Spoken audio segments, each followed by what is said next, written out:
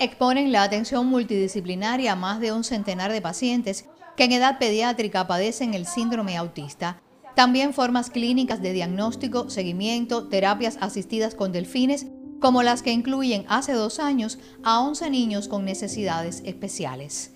Dígase niños con trastornos del espectro autista, con parálisis cerebral. Estamos formados por un equipo multidisciplinario donde somos psiquiatras infantiles, hay neuropediatras, logofoniatras, Estamos trabajando con un programa ahora en estos momentos de seis sesiones donde trabajamos fundamentalmente lo que es la, lo que es la socialización, el área motora, la sensibilidad, también trabajamos con lo que es el lenguaje.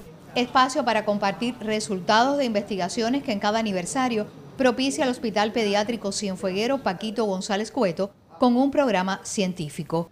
Este por sus 59 el evento reservó la conferencia de la doctora Mercedes Fonseca Hernández, estudio de seguimiento de la respuesta inmune a la vacuna Soberana Plus.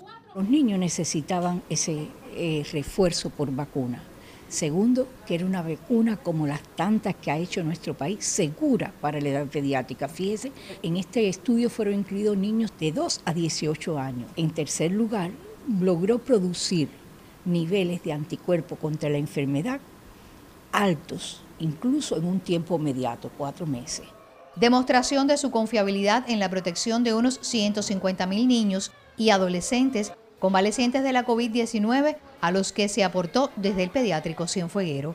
Una de las 40 investigaciones expuestas en paneles, mesas redondas y conferencias de 19 especialidades y servicios. Una institución que ha crecido en los últimos años con el número de investigadores, tanto agregados como auxiliares, un hospital que alcanzó hace dos años atrás la condición de entidad de ciencia e innovación tecnológica, un hospital que ha firmado lazos de alianza con institutos como el IPK, como el FINLA y como la Academia de Ciencias de Cuba, un hospital que en estos momentos se encuentra en proceso de ser sometido a certificación por el CENME para certificar en buenas prácticas para sitio clínico.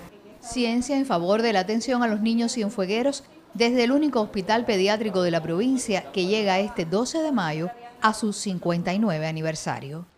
Ismari Barcia, Canal Cubano de Noticias.